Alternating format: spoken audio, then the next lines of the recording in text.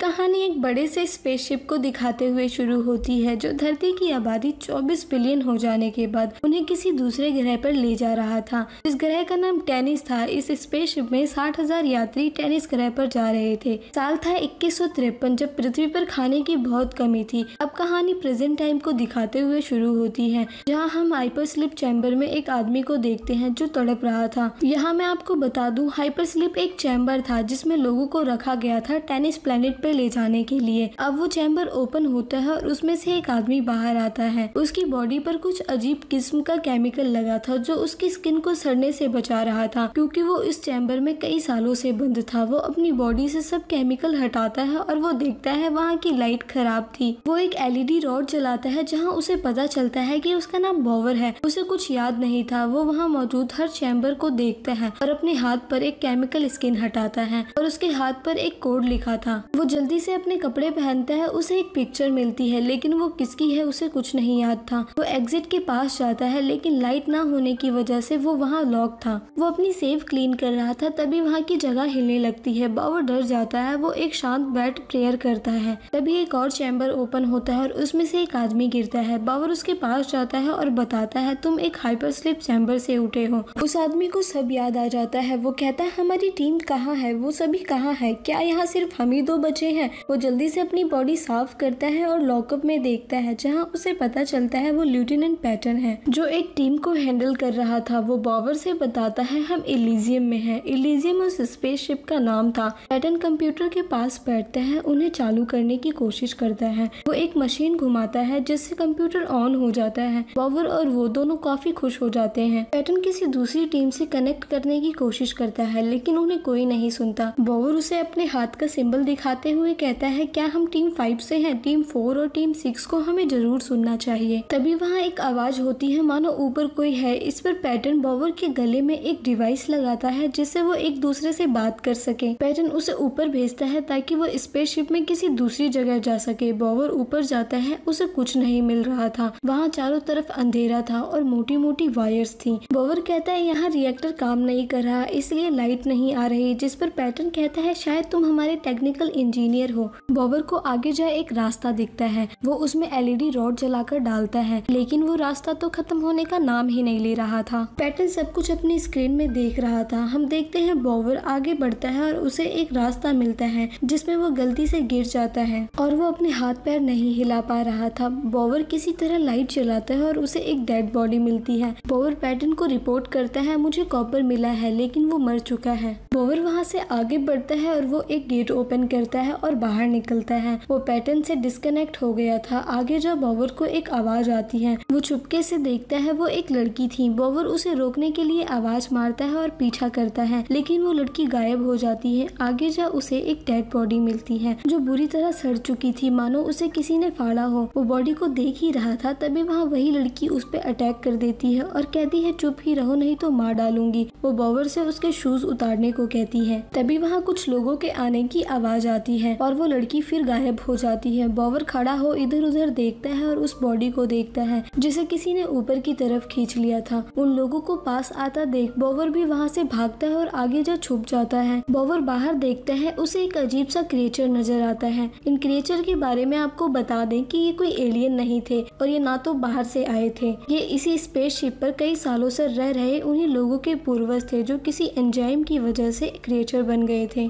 और अब वो उन्हीं लोगों के जान के दुश्मन बन चुके थे। वो इंसानों को मारकर खा जाते थे। बॉवर उन्हें देख जल्दी से छुप जाता है। तभी वो क्रेचर उस पर हमला कर देता है, लेकिन बॉवर बच जाता है और क्रेचर कॉपर की डेड बॉडी ले जाता है। बॉवर पैटर्न को सब कुछ बताता है और हम देखते हैं बॉवर अपने बचपन के बारे में सोचता है, जहाँ वो टीवी पर टेनिस प्लेनेट के बारे में देख रहा था। पैटर्न बॉवर से कहता है, स्पेसशिप का संतुलन बिगड़ने से पहले हमें रिएक्टर तक पहुँचना होगा। बॉवर बाहर निकलता है और एक सिक्योरिटी लॉकर तक पहुँचता है। वो उसे ओपन करता है, जिसमें उसे एक गन मिलती है। बोवर कहता है, कंप्यूटर की मदद से मुझे रिएक्टर तक पहुंचाओ। वो बातें करते हुए आगे बढ़ रहा था। हम देखते हैं, बोवर किसी तरह थर्ड लेवल तक पहुँच चुका था। अब सिर्फ़ दो लेवल बचे थे रिएक्टर तक पहुँचने के लिए। बोवर आगे बढ़ता है, उसे फिर से एक बॉडी मिलती है। वो उसके पास जा चेक करता है। तभी वो आदमी चिल्लाने लगता है। बोवर उसे शांत करवाता है और नीचे उतारता है। वो उसके हैंड पर देखता है कि वो टीम सिक्स से है। बोवर पूछता है, तुम्हारी टीम के बाकी लोग कहाँ हैं? वो आदमी आदमी घबराया हुआ था और कहता है, तुम्हें नहीं पता यहाँ क्या हो रहा है? वो आदमी अपनी बॉडी पर कपड़ा लगाता है ताकि वो क्रिएचर उसे पकड़ ना सके। बॉवर उन क्रिएचर के बारे में उससे पूछता है, लेकिन वो उसे कुछ नहीं बताता और कहता है, अगर वो दिखे तो सिर्फ़ भागो। अभी वहाँ उन्हें क्रिएचर के आने की आहट होती है। बॉवर उसकी तरफ़ गन पॉइंट करता है, लेकिन वो आदमी उसे बताता है, इस गन से कुछ नहीं होगा। जान बचानी है तो भागो क्रिएचर उन पर अटैक कर देते हैं।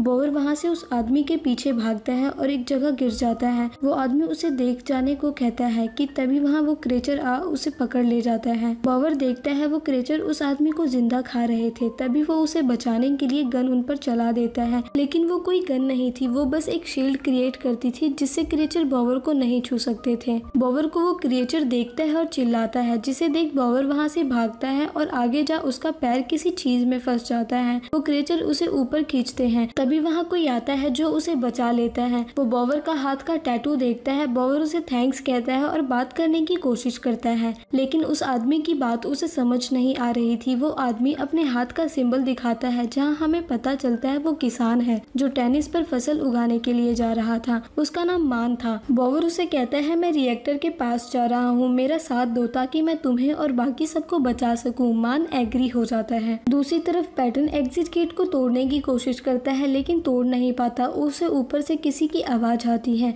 जिससे वो दरवाज़ा बंद कर देता है। इसके बाद हम देखते हैं बॉवर वहाँ से काफ़ी आगे आ गया था। वो एक रूम में जाता है जहाँ उसे एक बड़ा सा गेट मिलता है। वो उस गेट को ओपन करता है और नीचे गिरने से बचता है। हम देखते हैं वहाँ बहुत सारे कंटेनर थे। बोवर बार बार बचता है, तभी उस पर फिर से वही लड़की अटैक कर देती है। इस पर बोवर उसे मारता है और लेकर नीचे गिर जाता है। उसे बहुत चोट लगती है, लेकिन वो लड़की किसी तरह दूसरे टैंक पर चली जाती है, फिर वो दोबारा बोवर पर अटैक करती है। तभी मान उस पर अटैक करता है और वो दोनों फाइट करते हैं। बॉवर उन्हें लड़ता हुआ देख अपनी गन चला देता है, जिससे वो दोनों रुक जाते हैं। बॉवर कहता है, अगर हमें बचना है तो हमें एक दूसरे के साथ टीम की तरह काम करना होगा, जिस पर वो दोनों एग्री होते हैं। फिर हम देख देखते हैं, वो आगे जाते हैं और एक सिक्योरिटी गेट पर रुकते हैं। बॉवर उस लड़की से उसका नाम पूछता है, वो अपना नाम नादिया बताती है। तभी उन्हें क्रेचर की आवाज़ सुनाई देती है जो उनकी तरफ़ बढ़ रहे थे। नादिया गेट ओपन करने की कोशिश करती है। वो क्रेचर उनकी तरफ़ पहुँच ही गए थे। तभी बावर अपनी गन चला देता है, जिससे उन्हें थोड़ा टाइम मिल जाता है। तभी गेट ओपन हो जाता है और वो बचकर अंदर चले जाते हैं। उस जगह को देखते हैं, सबसे ज़्यादा वहाँ पे लाइट थी। बावर नादिया से कहता है, कौन है ये लोग? नादिया बताती है इन लोगों को मैं नहीं जानती। अगर बचना है तो भागो। वो उन्हें किसी तरह की लैब में ले जाती है। दरअसल उस जगह पर नादिया रहती थी और बहुत दिनों से वहीं सरवाइव कर रही थी। नादिया बताती है, जब वो चैम्बर से उठी, तब उसके साथ पाँच लोग थे और वो सभी साइंटिस्ट थे।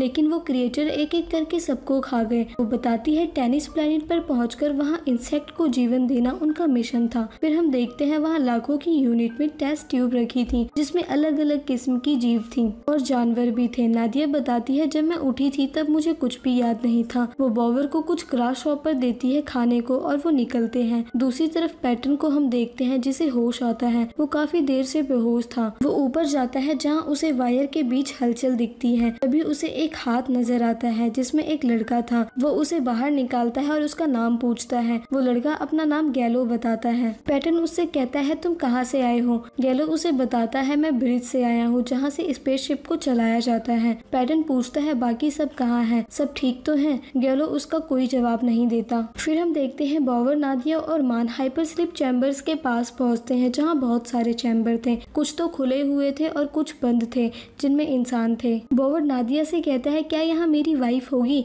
नादिया कहती है, यहाँ वो क्रिएचर हमारा शिकार कर सकते हैं। शांत रहो और साथ चलो। वो चुपचाप आगे बढ़ते हैं। हम देखते हैं मान उनके पीछे नहीं आता। वो किसी चीज़ को बड़े ध्यान से देख रहा था। नादिया बॉबर से कहती है, आगे चलो, नहीं तो वो क्रिएचर एक एक करके हमें मार देंगे। उसकी परवाह मत करो। वो आगे बढ़ते हैं, तभी बावर नीचे गिर जाता है। नादिया उसे देखती है और आगे बढ़ती है और वो भी नीचे गिर जाती है। बॉवर एलईडी लाइट जलाता है और वहाँ हम देखते हैं बहुत सारी हड्डियाँ पड़ी हैं, काफ़ी सारे लोग मर गए हैं। वो दोनों किसी गंदे से पानी में गिरे थे। तभी वहाँ एक क्रेचर आ जाता है जो उन्हें ढूंढता है। नादिया जल्दी से एलईडी लाइट छुपा देती है। वो क्रेचर इधर उधर देखता है और चला जाता है। बावर हिम्मत कर बाहर आता है। उसे वहाँ कुछ नज़र आता है। तभी उसकी नज़र अंधेरे पर पड़ती है, जहाँ एक क्रेचर क्रिएचर बैठा था। वो टॉर्च उसकी तरफ़ करता है कि तभी वो क्रिएचर उस पर हमला कर देता है, जिससे बॉवर एक चैम्बर में लॉक हो जाता है। नादिया उस क्रिएचर पर अटैक करती है, लेकिन वो गायब हो जाता है। नादिया इधर उधर देखती है, तभी वो क्रिएचर उस पर अटैक कर देता है और उसे बेहोश कर देता है। तभी बॉवर बाहर निकलता है और उसे लड़ता है,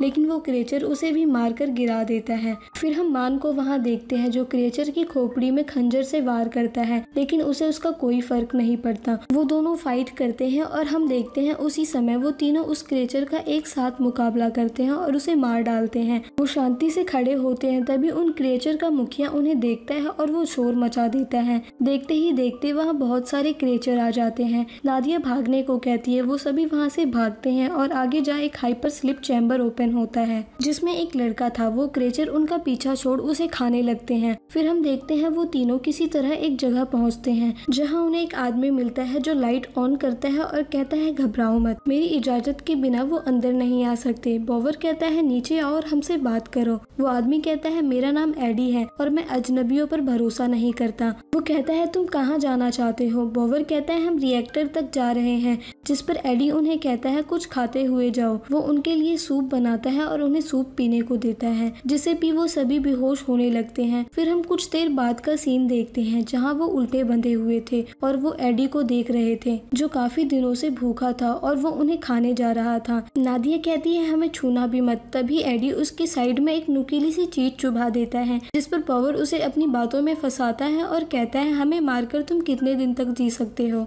शायद एक या दो हफ़्ते बस, लेकिन हम अगर रिएक्टर को चालू कर देते हैं तो शायद हम अपना पूरा जीवन सुकून से बिता सकते हैं। एडी कहता है, मैं तुम पर क्यों भरोसा करूँ? बोवर कहता है, अगर नहीं किया तो सिर्फ़ एक घंटे बाद मारे जाओगे, क्योंकि ये जगह फटने वाली है, और हम सबको इस शिप को बचाना होगा।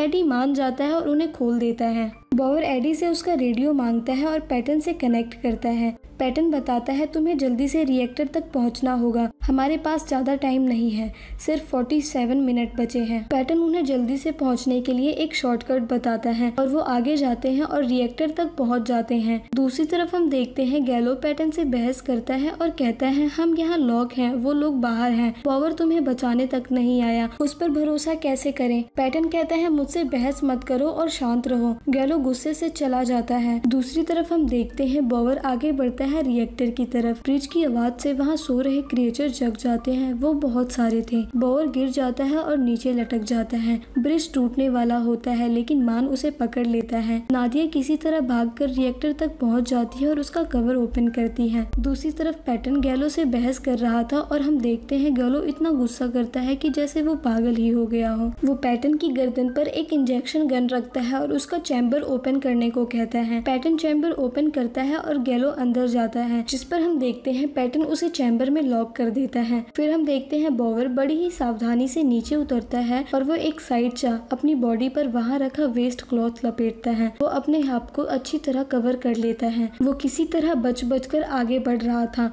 मान भी अब उस ब्रिज को ज़्यादा संभाल नहीं सकता था। तभी हम देखते हैं एडी के हाथ से एक टॉर्च नीचे गिर जाती है और वो क्रेचर खड़े हो जाते हैं और बॉवर की तरफ़ बढ़ते हैं। उनका ध्यान भटकाने के लिए मान वो ब्रिज छोड़ देता है और हम देखते हैं बॉवर जल्दी जल्दी ऊपर जाता है। वो ऊपर जा रिएक्टर को ऑन करने की कोशिश करता है और रिएक्टर ऑन हो जाता है, जिससे वहाँ सभी क्रिएचर मारे जाते हैं और हम देखते हैं वहाँ लाइट आ जाती है। पैटर्न बहुत खुश होता है। हम देखते हैं बचे हुए क्रिएचर उनके पीछे पड़ जाते हैं। सब इधर उधर हो गए थे। हम मान को देखते हैं जिसका सामना क्रिएचर के सरदार से होता है। वो वहाँ आ उसे हथियार देता है और वो दोनों फाइट करते हैं, जिसमें मान उसे किसी तरह मार देता है है। दूसरी तरफ़ बॉवर और नादिया उस क्रिएचर से बचकर भागते हैं और एक गेट में लॉक हो जाते हैं। फिर हम मान को देखते हैं, जिसे वहीं एक क्रिएचर का बच्चा दिखता है। वो उसे मारने वाला था, लेकिन रुक जाता है। तभी वो लिटिल क्रिएचर उसके गला काट देता है और मान मारा जाता है। फिर हमें दिखाया जाता है गैलो चैम्बर से बाहर आ जाता है और पैटर्न से फाइट करता है। वो कहता है, मैं तुम्हें मार डालूँगा। तुम्हारी वजह से मैं फंस गया था। फाइट करते करते दोनों का टैटू एक साथ हो जाता है, जिससे गैलो पैटर्न की बॉडी में आ जाता है और पैटर्न को कंट्रोल करने लगता है। तभी वहाँ एडी आता है जो उन्हें अपने बारे में बताता है। तभी गैलो उसकी आई में गन इंजेक्ट कर देता है, जिससे एडी वहीं मर जाता है। फिर हम देखते हैं बोवर और नादिया दूसरा गेट खोल लेते हैं और वहाँ से भागते हैं। वो क्रिएचर अभी भी उनके पीछे पड़े थे। वो दोनों भागते हुए पैटर्न तक पहुँच जाते हैं। नादिया पूछती है पैटर्न ने इसे क्यों मारा? बोवर समझदार था, वो समझ जाता है, इसे पैटर्न ने नहीं मारा। वो आगे जाते हैं, उनकी नज़र लेफ्टिनेंट पैटर्न पर पड़ती है। बोवर उससे पूछता है, तुम कौन हो और तुमने पैटर्न की बॉडी पर क्यों कब्जा किया? वो बताता है, मैं गैलो और मैं तुमसे पहले इस जहाज़ पर आया था। बोवर कहता है, जब लैंडिंग का लास्ट सिग्नल मिला था, तब तुम जगे हुए थे। तुमने किसी को इन्फॉर्म नहीं किया, जिसकी वजह से आज हम फंस गए हैं और काफ़ी लोग मारे गए हैं। गैलो कहता है, तुम्हें ये सब कैसे पता? बोवर कहता है, मुझे सब पता है। वो गैलो यानी कि जो अब पैटर्न की बॉडी में था, उसे मारता है और उसका एक दांत उखाड़ देता है। नादिया उसे बुला कुछ देखने को कहती है और हम देखते हैं, वो लोग किसी स्पेस में नहीं, बल्कि गहरे समुद्र में थे, जहाँ बहुत सारे अजीब समुद्री जीव थे। बोवर पीछे जाता है और तभी पैटर्न उस पर हमला कर देता है और बेहोश कर देता है। नादिया आ उसे बचाती है और वो नादिया को भी मारता है। तभी बोवर उठता है और अपनी गन चला देता है, जिससे वहाँ का ग्लास क्रैक हो जाता है। बॉवर जल्दी से नादिया को बचाता है और नीचे जा एक चैम्बर में लेकर जाता है। वो क्रेचर अभी भी उनके पीछे पड़े थे। तभी बॉवर चैम्बर रिलीज़ कर देता है और हम देखते हैं वो समुद्र से होते हुए ऊपर की तरफ़ बढ़ते हैं। बॉवर एक एलईडी लाइट जलाता है, चैम्बर में पानी भर रहा था। वो नादिया को ऑक्सीजन मास्क देता है और कहता है, सांस लो, लेकिन वो बेहोश हो गई थी। और हम देखते हैं, वो काफ़ी तेज़ी के साथ ऊपर आते हैं, जहाँ उनका चैम्बर ओपन हो जाता है। वो नादिया को उठाता है और उसे होश आ जाता है। वो दोनों खुश थे। वो देखते हैं, चारों तरफ़ से चैम्बर ऊपर आ रहे थे।